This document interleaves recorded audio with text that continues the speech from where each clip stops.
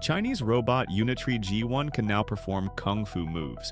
The control algorithms have been improved, and now the $16,000 mechanism not only cracks nuts and dances, but also demonstrates combat skills.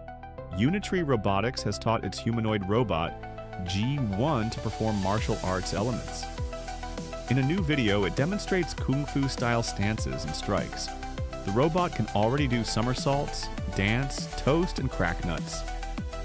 Now the developers have improved its balance and precision of movements, adding combat techniques to its repertoire.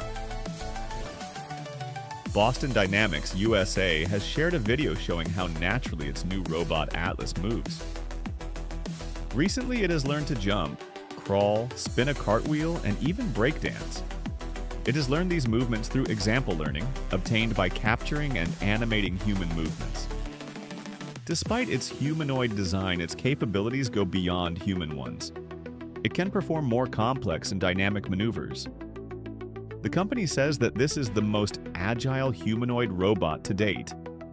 And in the future, it will help people with routine household chores and work in Hyundai factories, which Boston Dynamics owns.